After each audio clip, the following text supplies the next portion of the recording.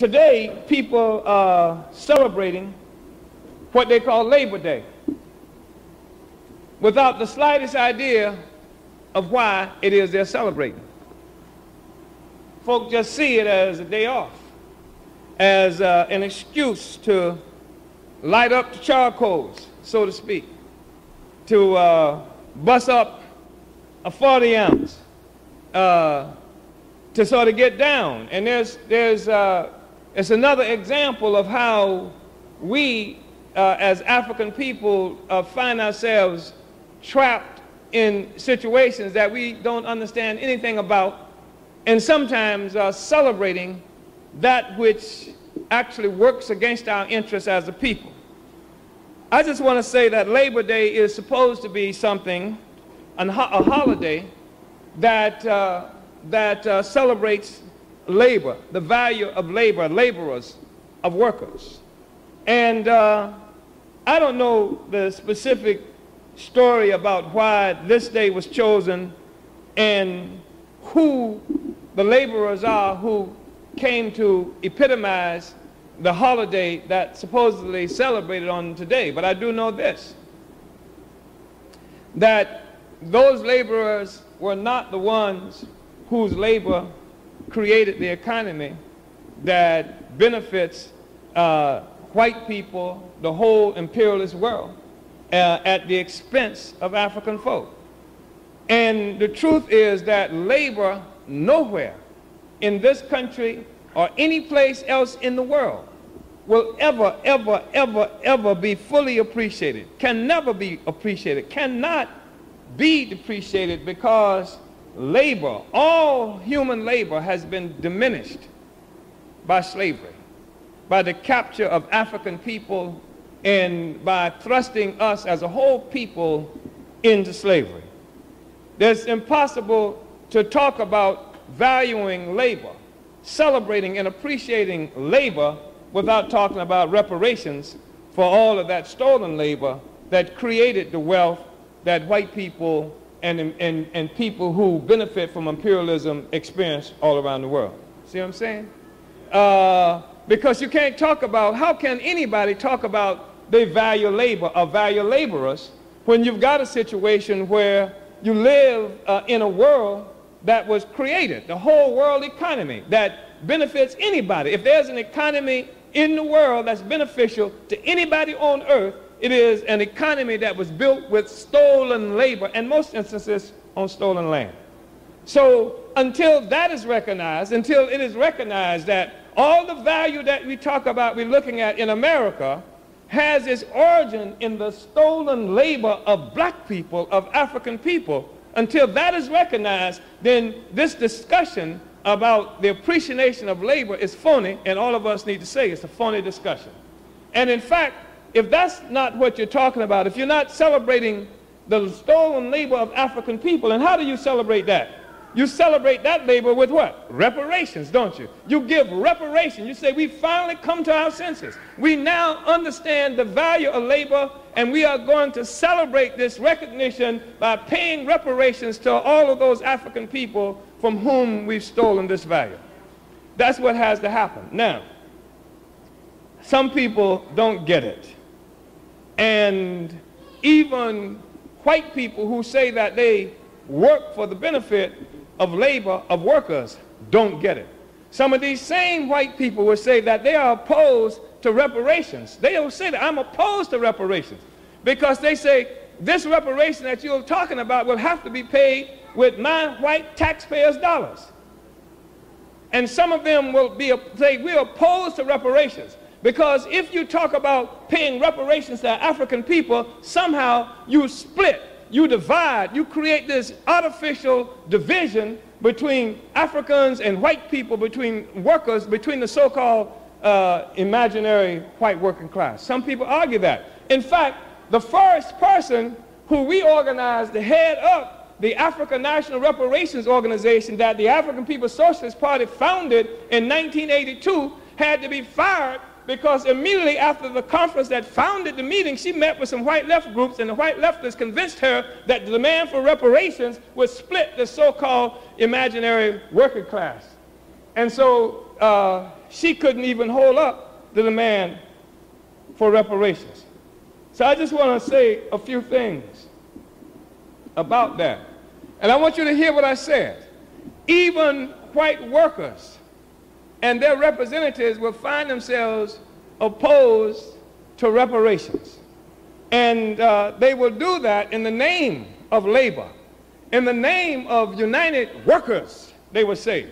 That somehow, here you are, uh, with all the value of your labor, of your parents and grandparents, great grandparents' labor being stolen to create the value that they experience, to make it possible for white workers to live in homes where sometimes they have two car garages uh, with, uh, with uh, a station wagon attached, with a boat attached to it, uh, parked right here in a little rinky dink city like St. Petersburg, right? Uh, these workers uh, will find somehow that you are struggling to divide them when you try to get payment for labor that has been stolen from the value of African folks. So I just want to say some things about it and how we, how we come to this. The, the truth of the matter is that we're talking about uh, human society.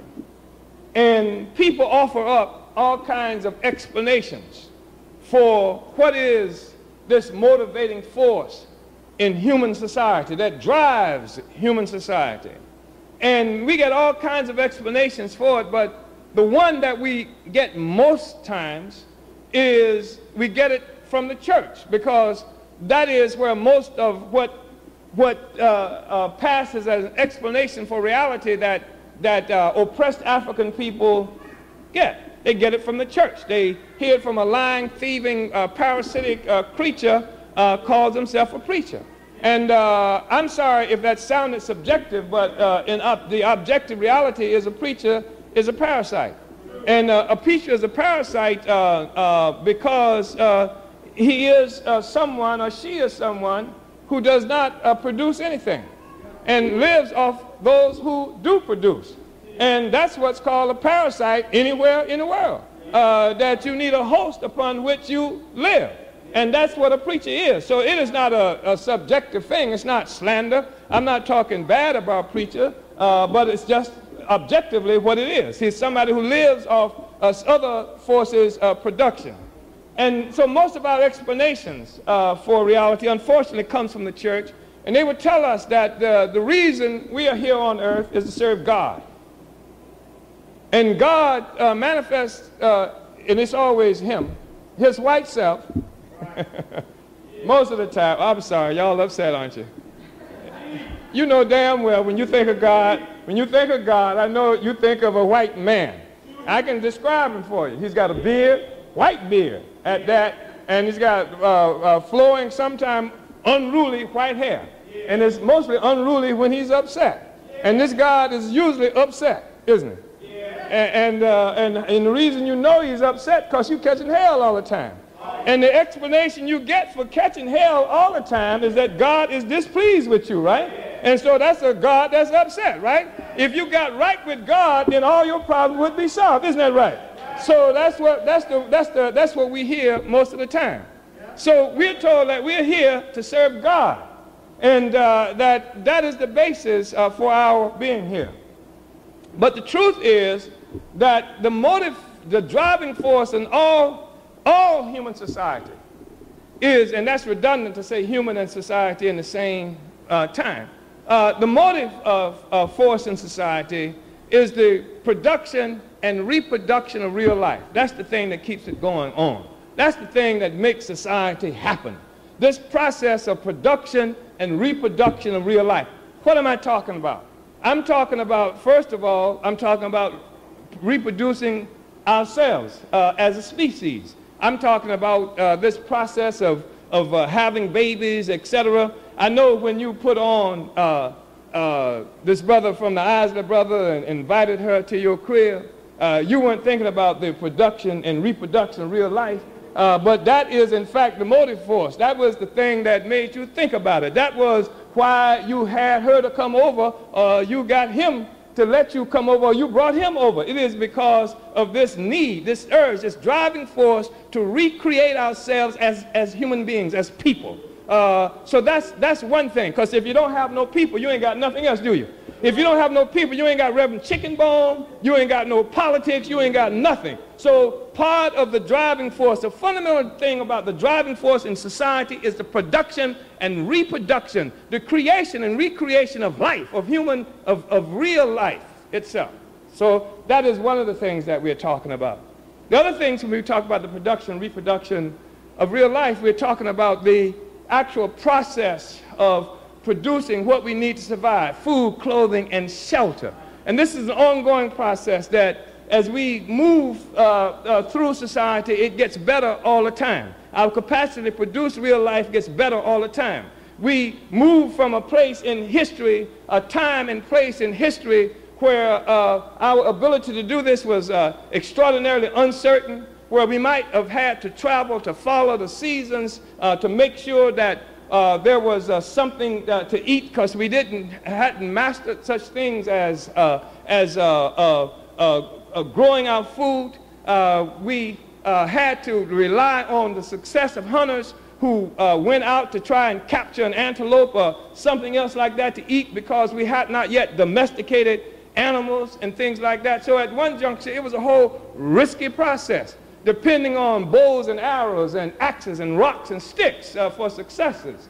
And then, of course, this whole process of, of the struggle to produce and reproduce real life, we got better at it.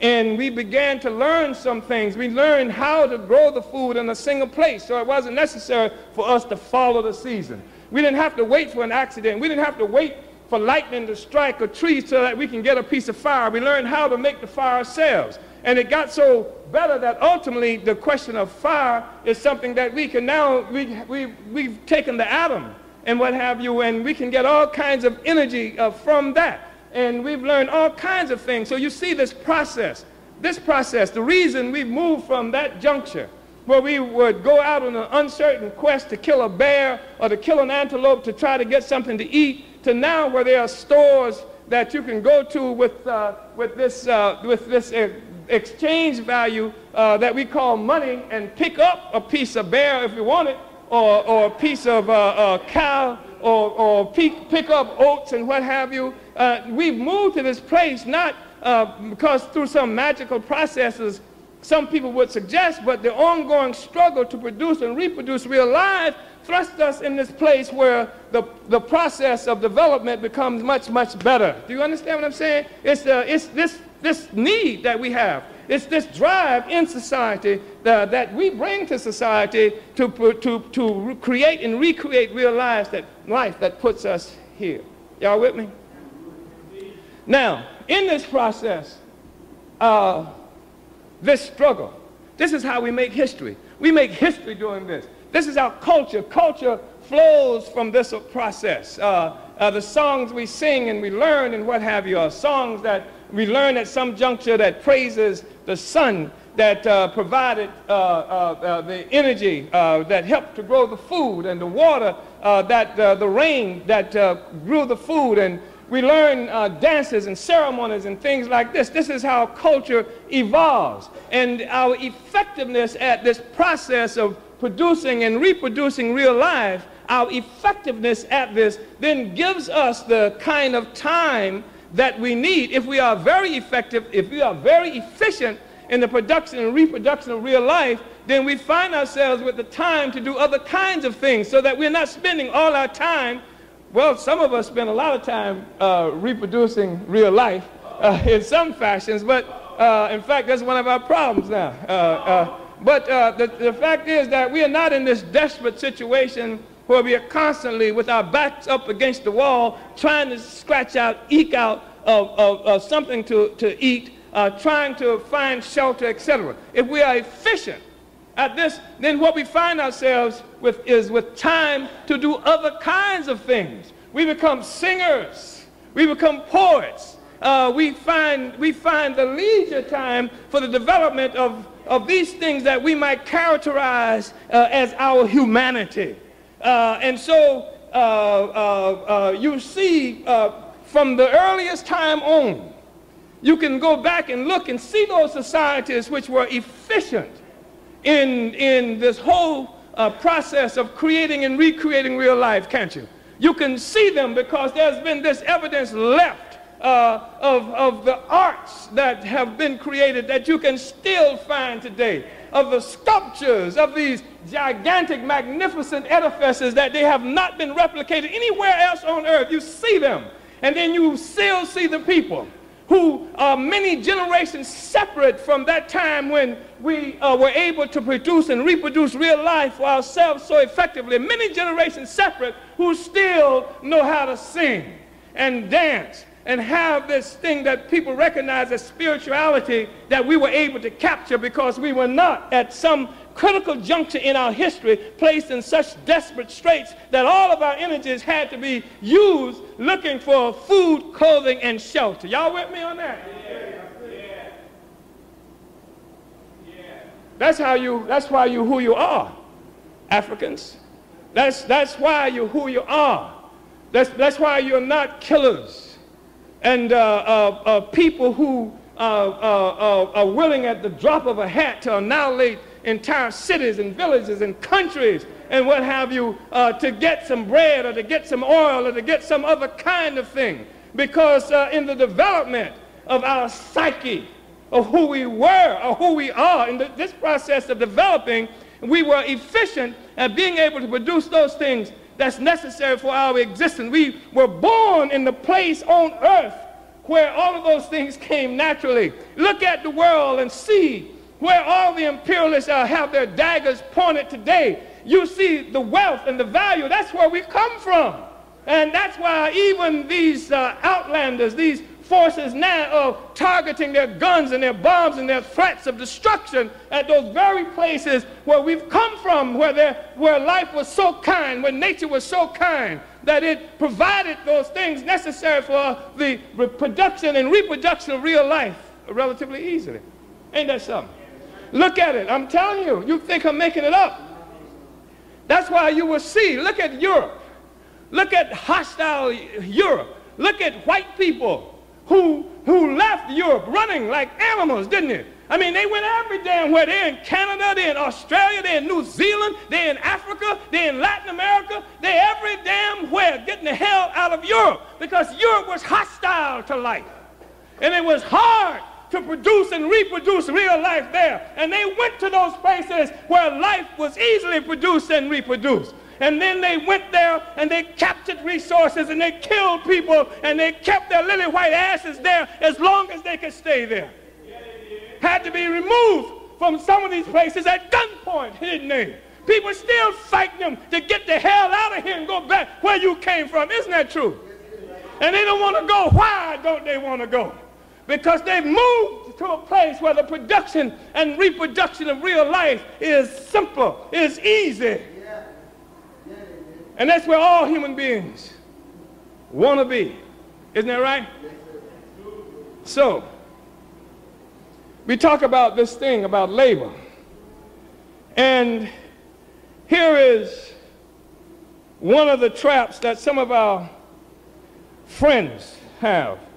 These are our white leftists or communists or Marxist friends because they do understand some things about labor. You see, all value is created by human labor. It's not created by doctors, professors, economists, presidents, or lawyers, or any of those things. It's human beings. It's labor that creates value. Yeah. Nothing has value until a human hand has been placed on it and transformed it and made it into something that it wasn't before. Trees don't have value until human hands touch it. Human hands touch trees and they turn trees into tables, and they turn trees into houses, and they turn trees into podiums, such as this one I'm standing here around right now. It's the human hand that touched it, that transformed it, that gave value to what used to be just a tree that was there. Y'all with me on that? Yeah.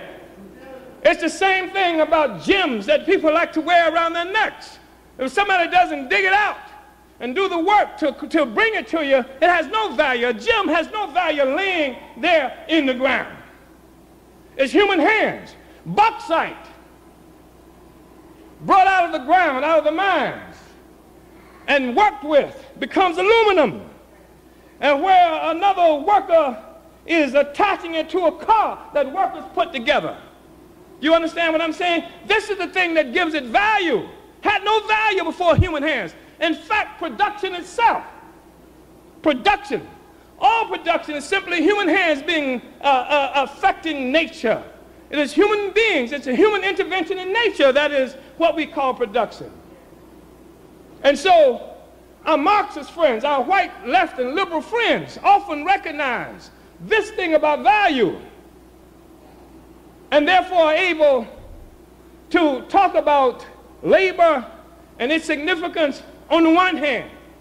But on the other hand, even as they talk about this labor, are able to dismiss the significance of the African labor and the demand for reparations that we might make. And we say, well, how in the hell does that happen? Because the Marxists and our white liberals and friends come into the question late. They see the car once it gets to Detroit. They see the bauxite being worked on in Detroit that turns into aluminum. They see the tire that goes on to the car. They see all the work that's done right there at what they call the point of production. But they didn't see the 10 million people who the Belgians killed in the Congo to get the rubber that got to Detroit. Do you understand what I just saw? They had to get some rubber from somewhere before they could attach it to that car. They didn't see the Africans who worked in the mines in places like Guyana or in places like Guinea in Africa who brought that bauxite up out of the ground and made it available for folk to work with it in Detroit or some other place. You understand what I'm saying? That was invisible to them. They've left out this incredibly significant equation when they talked about the creation of value. And so we live in a world where people can talk about the value of labor and they can sing praises to labor and leave the African out. Because we are invisible in their consciousness. Even Marx, as he talked about the significance of labor, and it was Marx who, among whites perhaps did a better job than anybody uh, in talking about the value of labor. Even Marx, when he talked about the emergence of an economy based on the selling of commodities, based on uh, uh, uh the expropriation of stolen value, even Marx ran into this non sequitur where he could say out of his mouth, on the one hand, that that what he characterized as the wage slavery in Europe, which meant the capitalist relations, which they talked about wage slavery, and that's, that's really a, a, a misappropriation of language because wage slavery is, is what they were talking about white people were doing, working in the factories and stuff. He said wage slavery in Europe required as a pedestal slavery pure and simple in the new world. Ours was the slavery, pure and simple. Yet Marx, even having come to this understanding, could not say, therefore, in order to end capitalism or wage slavery in Europe or any place, what we have to do is kick the pedestal out from under it, and that pedestal is slavery, pure and simple. Even Marx came up with this non sequitur saying that therefore, in order to overturn capitalism, which is wage slavery, we have to somehow give power to the white workers, all of whom exist with the white bourgeoisie on this pedestal of slavery, pure and simple. Y'all with me? I know it's complicated. You see what I'm saying? So we invisible. But let me tell you this. Let me tell you this the working class. This force that we now talk about when we talk about labor is a relatively new phenomenon in Europe. Was no working class. It was white people living in Europe, but they were not what we characterize as workers. They were peasants. They were people, the majority of whom tied to the land like what they call sharecroppers when they were doing it to us here in the South, where they would work and most of their labor went to the landlord who got most of what they produced. and they kept a part of it, and they were tied to the land like slaves, and to the extent that if the landlord sold the land, uh, the worker, the, the peasant went with the land, got a new landlord. They were taxed. They had all kinds of difficulties. But there was no such thing as a working class. What was it that gave rise to the working class? The working class, this thing that created a situation that emancipated white people from, the, from serfdom, that took them away from uh, the people who Robin Hood was helping them with. Y'all remember the story of Robin Hood uh, stealing from the rich and giving to the poor? The thing that did what Robin Hood couldn't do elevated poor white folks, you understand, from their status as peasants and then made them uh, uh, uh, workers who now were getting uh, a different amount of value for their labor power. Couldn't be sold. Couldn't, couldn't be handled in the way they could be handled before. What was it that did that? The thing that did it was slavery. It was slavery. It was stolen resources that also was coming from places like Vietnam and, and China that was being stolen. Uh, all these resources now coming, transforming Europe. So now uh, you see the emergence in Europe and in, in, in North America of this thing they call industrial revolution where now uh, these people who were just peasants need to, they, the white power needs to get their asses off the land. They, uh, they create these things called the Enclosure Acts in England and other places to kick these peasants off the land. Get your ass out of here. Why did they want them off the land? Because as long as they were on the land, as bad as things were for them, they had food to eat. They can fix, they can grow their own collard greens and what have you. They needed a destitute white person. Why did they need a destitute white person? They needed a white person who had to sell his labor power in order to live, to exist. Y'all with me on this? And nobody going to work in no damn factory where they might lose their life, their arms, their eyesight, their et cetera, et cetera, if they got another way to feed themselves. So the Enclosure Acts, I missed y'all, didn't I? I left y'all somewhere, didn't I? So they kicked them off. And then you see this incredible development of industry happening in Europe. Gold coming there, silver coming there, ivory coming there. Guess what? They needed ivory to make billiard balls, you know, to shoot pool with, and, uh, and uh, piano keys, uh, etc., and kill damn near every elephant in Africa. And damn near every African who they had going to get the elephants and the ivory for it. And so you saw suddenly in Europe white people who were stuck on the land now needed to make ships, now needed to, to, to smelt iron for chains and for nails and other kinds of stuff and to make sails and to grow and to fix clothing uh, uh, and, and to store food. A whole working class now begins to emerge to facilitate the process of sending ship after ship out to capture African people. Y'all with me on that? And so you begin to see here the emergence of a working class. You begin to see now the need, you move away from this need where you have a single little hat maker or shoemaker uh, being enough to, uh, to meet the requirements of the neighborhood. Need a whole bunch of shoes at the same time. So you need shoes for all the people who are going to be sailors. You need clothing for them. You need chains uh, uh, for the slaves. You need new ships, etc. You got now the emergence of a working class. And guess what? And with this emergence, the working class is now better off. White people are better off than they were before. And it gets even better.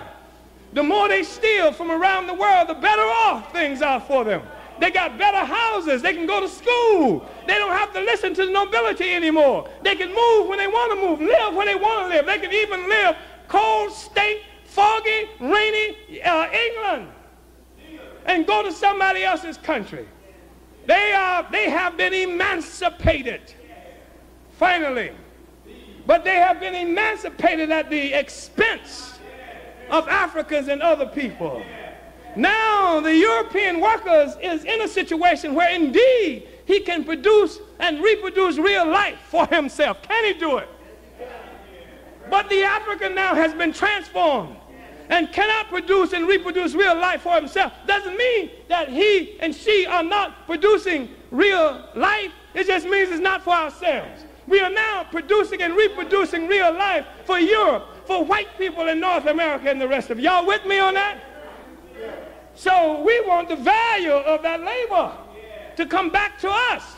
That's why you look in Africa. You look here. The lifespan of African people is something like, on average, of, of the African man is nine years less than the African white man. We're not producing and reproducing real life when you have that kind of situation. And in Africa, it's even worse. You see? You see what I'm saying? And so we need to jumpstart this process to demand a real appreciation for labor, and you do that with reparations. Pay us for the value of our stolen labor.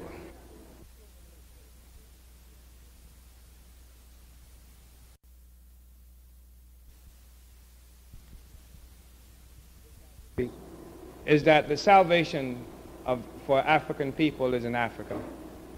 That there is no solution for us outside of the liberation of Africa. And, and people, I don't care how difficult and, and uh, that might sound uh, and how uncompromising the statement uh, may seem to be, uh, but it's true. And uh, it shouldn't be, but I know it's a, a, difficult thing for some people to even deal with, that this notion that, uh, the, the, that our, our freedom is tied to Africa that there is no solution uh, other than that. And, um, and we can continue to talk about that, but it shouldn't be something that bothers us. Because uh, the, the truth is that if you, if you can believe anything that I said, the reason white people came to Africa is because Africa was bountiful and where they were was not. That's why they went every place else. They were looking for booty. And uh, and, and they were looking for, I almost said because they didn't have booty, and that was true in both the ways that we understand it in the community and, uh, and the way they understand it. But uh, uh, that, is the, that is the truth. The, our problem is that Africa has been robbed viciously, brutalized viciously. And an example and evidence of the brutality done to Africa is our presence in this country a word about the prospect of having to go to Africa. Isn't that something? You got Negroes who you talk about, you got to go back to Africa. and that's a statement of the attack that was made on Africa. Africa was attacked.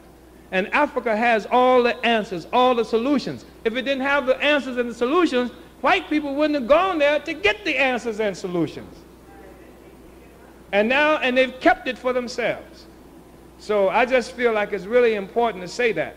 That's, that's the direction that we're pointing. That's the direction that the spear is pointed. Um, that's where our future lies. That's where our history lies. That's where our future lies. I interviewed, did anybody hear the show this morning? Interviewed uh, this brother, uh, uh, Thami Plaatjie, uh, who is the Secretary General of the Pan-Africanist Congress of Azania. Uh, you call it South Africa. Uh, and he spoke at our, um, at one of our meetings in London a couple of weeks ago he talked about the significance of the land to African people. And he says that in, in, uh, among uh, the cultures, when a child is born, that the umbilical cord is, is planted uh, in, the, in the yard, uh, and a tree is planted over the umbilical cord. It is a, a firm attachment uh, to the land. And that uh, if a person goes away and that tree uh, seems to have a problem under which that umbilical cord uh, is planted, then they make the assumption that something is wrong with this person, wherever that person may be in the world. I mean, the, the connection to the land. We are rootless. We have no connection. Uh, and, and the truth of it is, as much as we say that we are attached to America, what we really attach to is Coca-Colas and, Mac, and Big Macs uh, uh, and CDs and what have you. It's not America because we don't, they, white people don't allow us to stay one place in America long enough to get attached to it. You go back and look at the place where you grew up. And the truth of the matter is that white people have moved you four or five times since the last time you were there. That community has been wiped out. Now they moved you over to another community. We are rootless. Uh, and and uh, Africa is, our, is ours.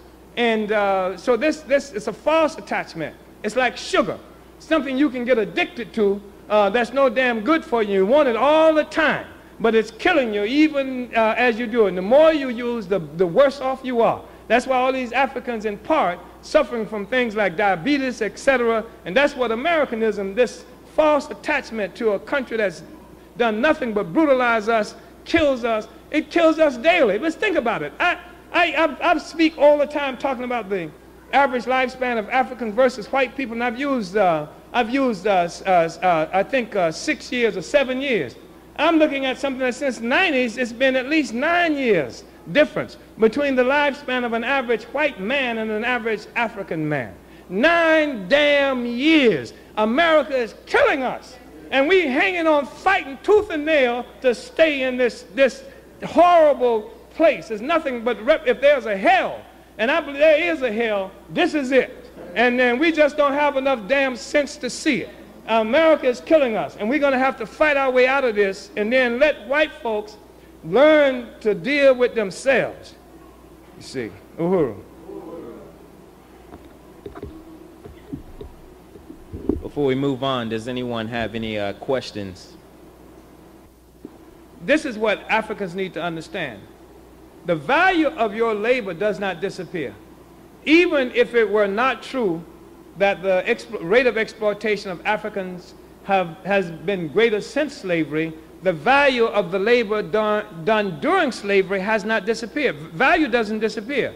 It is now value that is concentrated in all of the things that you see around you, uh, uh, even in the computers and what have you. The value doesn't go away. What happens to that value? It doesn't disappear. It, it, it, it continues to exist. And it is concentrated in value that follows from it. And that's a really important thing for us to understand because people like to say, well, that happened a long time ago, even if they just talk about slavery. They say, well, you know, the ones who did it to you, they don't exist anymore. And, and, and the ones who, to whom it was done directly don't exist anymore. Therefore, it's over. But the reality is the value is still there. It is, it is, it is concentrated. It is concentrated in all the value that you see around you. Value does not disappear.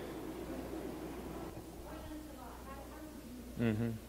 I just want to say a couple of things about that. Uh, first of all, I want to address the question of technology. It's really interesting, this whole issue of technology, because what's clear to me is that the barbarians have seized control of the technology. And technology is driven in this really reckless and dangerous uh, and anti-human way. Technology is a relatively recent thing to white people. And I'm not, I'm not slandering, I'm not race bashing. I hope you understand this. The reality is that when, when we were building pyramids and doing things like that, it was before white people had even mastered fire. So uh, what has happened is that white people conquered the technology of others, conquered the technology of Africans and etc., and the bar stole it. And the, and the barbarians are now in control of technology. And look at the direction it goes in with the barbarians. In, here you have a people who have not really achieved a certain level of civilization, it's like, think about it. If you could turn loose some, some apes or lesser beings uh, in, in, a, in, a, in, a, room full of uh, dangerous, you know, high technological uh, stuff, I mean, you, the barbarians have seized control of the technology. And it's a, it's a very uh, uh, dangerous situation. I use the term barbarian. And, and I, I didn't create that. I said barbarians. It's a term that comes straight out of Europe where they used it themselves to describe the behavior and activity and state of existence of other Europeans. But the reality is that for the longest time in history, most of the world saw those Europeans uh, uh, coming from where they came from as being barbaric and uncivilized and really dangerous and treacherous uh, kinds of people. Now, having said that they have the technology, the fact is that there has always, since the conquest, since our conquest, been an extraordinary technological gap between the oppressed and the oppressor. It existed between the Vietnamese and America. It was an incredible, uh, uh, incredible technological gap. You can't, I mean, the Vietnamese started fighting with sticks and what have you. And of course, uh, they were able to be victorious. And the thing that helps us to understand our potential doesn't show us the way. There is no roadmap. We're going to have to find this ourselves in the process of struggling. We're not going to find it in the process of a debate or discussion, but the process of struggling is how we find solutions to these, these uh, questions that we have. But if, you know how we know? You know, I mean, we've seen the vulnerability with all this technology. Box cutters. Box cutters. Box cutters. I mean, nobody, uh, if, if, if you go with what they said, I mean, Bush was talking about nuclear shields, uh, talking about things like uh, Star Wars, etc., more, etc., and, and uh, what they said to us is somebody with a box cutter uh, got on one of these huge technological behemoths that they don't possess in the land that they came from, right? And uh, they use a box cutter and turned it against them. And what I'm suggesting is the technology that they have. You know what they've done? It's the thing that somebody said uh, when we were in London. Uh, perhaps, uh, perhaps Wally remembers this. Somebody raised this question. They were always, somebody was always wanting to raise the question of armed struggle. I'm trying to get away from it. I just want y'all to come to a meeting. I can't even get y'all to come to a damn meeting, right? And, uh, and so the, the person was saying, well, you know, uh, uh, you know, we don't have, they got all these guns, et cetera, et cetera. You know, how are we going to fight them? And the question is simple. You don't have a gun, you got a rock.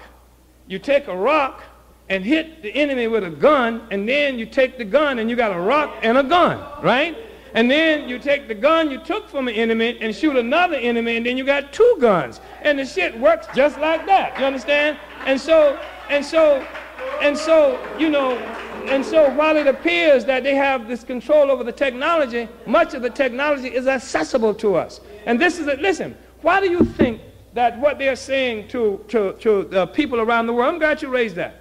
They don't want Iraqis, they don't want uh, anybody to get this stuff that they call can be used for dual purpose. They don't want anybody to get any kind of technology. They don't, they trying to keep uh, monopoly on all the technology in the world. Of course, this stuff is not a matter of dual dual uh, capacity uh, purpose is the fact that once people get computers, once people get this other stuff, they can begin to challenge their circumstances. And so the imperialists want to make sure that they can't even get a damn computer because they say you can use it for two things. You can also use it for something else. They want to make sure only their buddies, their friends got them. Well, hell, we got computers all around the joint. We got some upstairs there that haven't been used uh, for ages, etc. And I'm saying that the technology is there. I met in Paris, in Paris, France. These Africans demanded that I come to Paris, and I almost didn't get there. I met with these Africans, and they're part of an organization called A3D, and that's Africans, Africans for Action, there's another A, and, and, and something else uh, for development. And, and they're from all over, they originate in different parts of Africa. And uh, they, there were 15 of them at this meeting that they invited me to. And some of they came from all over Paris, and some flew in, I mean from France. Some flew in, some came by trains and buses and cars, etc. And they said, uh, and I met with these Africans, and these are African intellectuals, and they're doing all kinds of incredible works. They got this connection with forces where they've got um, uh, doctors for Africa to intervene in any emergency place uh, uh in Africa. They've using, uh, they, and they're not just doing technology, but they're talking about technology based on the science of Africa, I mean, that comes from our own traditions and culture. Uh, they're just doing extraordinary works all over, and they wanted to have this connection with us. They said, they said of us, they said, we, we, this was an important meeting, they said, that we had to be here, and we had to meet with you. They said, because you clear the fog, you are the sun that clears away the fog. You bring hope for Africa. You understand? Here these people with all of this, all of this expertise and what have you, and they spread out all over Africa. And there's some of us who are trying to make this thing happen. I'm telling you that imperialism is in a desperate situation. How do I know? How do I know? I'm saying that right now, what we are looking at, this whole thing that George Bush is trying to do to the world is a state, is a sign of the most desperate kind of crisis that the imperialists are confronted with. And they are, they are confronted with losing every damn thing they have. Our responsibility is to help them lose it. You understand? And, and we are, we are at that cliff. And the thing is that uh, it's just a matter of us. You know, you know what jujitsu is? Does anybody know what jujitsu is? And it's, a, it's the art of jujitsu is a, is a martial art. that, uh, that uses the strength and power of the opponent against him. You understand? So that's what September 11 was. If somebody else did it, it was a form of jujitsu. They didn't have the airplanes, and they didn't have the bombs, and they didn't have the missiles, but they had a goddamn box cutter. Yeah. According to the U.S., yeah. it was a form of jujitsu, and that's what we have to learn to do. We have to use the enemy's power against the enemy. And this technology is its weakness. It, it's, it's its weakness. I used to be able, uh, working on the newspaper, I could lay out, you know, 10, 14 pages a day. As long as I was doing it with that glue and, and with that wax and stuff and laying it down. And then they put these damn computers on my ass and I can't do, I can't lay out nothing. But guess what? When the, when the lights go out and the computers uh, go down, I can lay out a newspaper, you understand? And that's the trap. The trap is when this stuff, when a monkey wrench goes into this stuff, it don't work. It doesn't work, you understand? And, and, and uh, so I'm not, I'm not that concerned. Let me tell you another example of technology used against them. In Vietnam, this is how white power, white power is something, boy. Uh, they had created, and this is why the Vietnamese, I saw uh, a thing, a documentary on television, and they were talking post-Vietnam with some, some Vietnam, Vietnamese officers uh, in the military. And they said, in terms of the war they had with America, they said, America, uh, you can't fight America from a distance. They said, from a distance, America is powerful. Say it can shoot missiles and uh, drop bombs from way up in the sky, etc., and they're powerful there. They, he said, but Americans are slow and clumsy. In order to fight them, you got to grab them by the belt. And that's the problem. We haven't had the guts to grab this sucker by the belt. And you, you fight his battle when you try to stand back here and fight with him because you can't handle him. But you grab this sucker by the belt and you can dance with him. This is what the Vietnamese did, talking about his technology. The Americans in California they had a process with computerized delivery of, of um, bombs and stuff that they would use in Vietnam from, from, a, from a place in California. They would drop in Vietnam these sensors. You know, uh, you know how, and this is where things like uh, when you walk to a, a, a, a supermarket and the door opens automatically, well, this developed in the process of killing Vietnamese and other peoples around the world. They would drop these sensors in these places in Vietnam, right? And these were places where no human beings were supposed to be. So if the sensors picked up a human presence, then they'd push a button and then they just shoot missiles right there. So what the Vietnamese learned to do is they start hanging up bags of piss all over different areas, right? And um, the sensors would pick up a human presence from the piss, right? And they'd push bombs, and they was blowing up piss all over Vietnam, right? And so that's using the technology against them. You understand? And Vietnam, uh, there was a story that got told about they had to pass out flyers in places like what used to be called Saigon, occupied by the Americans. And you, get, you lose your life, you get caught doing this. So the Vietnamese, they would take flyers and they would wet them down and then set them on top of high places, buildings, etc., while they were wet. And when the sun comes out, it dries. And as it dries, it just all over the city. So the thing is that the, the, the Huey is right. Huey, Huey was right when he said the will of the people is greater than the man's technology. And that's what we have to really understand, that you cannot be intimidated by his technology. We can kick his ass. You understand? His technology cannot extract a boot from up his butt. Let me tell you about technology. With all the technology they have, I'm still going through airports. I'm still going through airports where Africans are the ones who are screening my bags and other peoples are the ones who are screening my bags and deciding whether or not I got something in there that can hurt somebody. And at any given time, when, when struggle reaches a certain place, uh, uh, people begin to have to pick sides. And one of these days, people are going to go through there and they're going to have something and not have something because the airport persons are going to be sympathetic with the cause of free people. So with all the technology, the technology is built on a house of sand. It's built, uh, it's built on a foundation of sand. And uh, they, got, they got profound problems. They really got problems. And the, the, issue that you mentioned about destruction is real too. I mean, now uh, in Africa in particular, Zambia and Zimbabwe, there's a whole big issue. Because Africa is currently being used as a pawn in the struggle for, for uh, uh, um, genetically modified food. Africa, they starve Africa in a number of ways. I'm not going to try to get into the whole trade questions and stuff like that now. And there are about 14 million people, they say, are facing imminent starvation in Africa unless something is done. And what the U.S. is offering them is genetically modified food. In Zambia, uh, Zimbabwe, and other places, Zimbabwe and Zambia has refused to take the food. And then, so this whole campaign of slander is being directed at them because in the face of all these starving people, they won't take the genetically modified food. Well, Europe won't allow genetically modified food either.